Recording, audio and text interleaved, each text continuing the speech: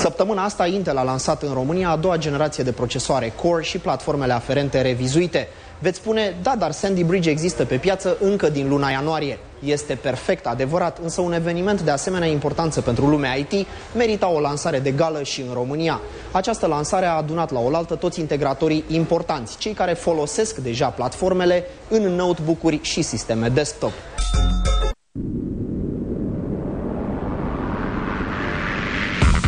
A doua generație de procesoare Core uh, aduce o performanță adaptabilă uh, aplicațiilor clientului. Acesta este cel mai important uh, lucru. Acesta este bun pentru uh, un răspuns îmbunătățit al uh, sistemului, al calculatorului la uh, aplicația pe care clientul o utilizează la un moment dat.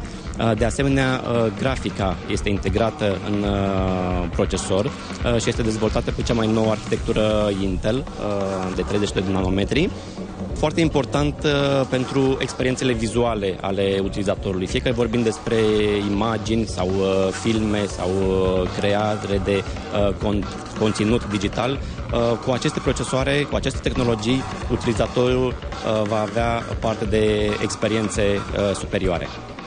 Noi am ales să lansăm astăzi produsele în România pentru a avea suportul partenerilor și producătorilor de calculatoare în piața românească. Uh, este foarte important pentru utilizatorul final să afle despre o tehnologie care o poate folosi și nu numai despre o tehnologie care există undeva uh, produsă de către un mare producător. Astăzi, la acest moment, suntem uh, siguri că utilizatorul final are de unde alege. Sunt mulți producători cu oferte disponibile pe piața locală, atât de laptopuri cât și de calculatoare desktop. A fost o singură problemă la nivelul chipsetului pentru aceste platforme. Procesoarele au fost ok, nu au fost afectate. Problema a fost descoperită la sfârșitul lunii ianuarie și a fost comunicată către presă înainte de orice alt fel de comunicat, către partener sau în altă parte. Există o soluție implementată de către Intel pentru aceste chipseturi. Acum chipseturile disponibile sunt deja cu, să spunem așa, problema rezolvată.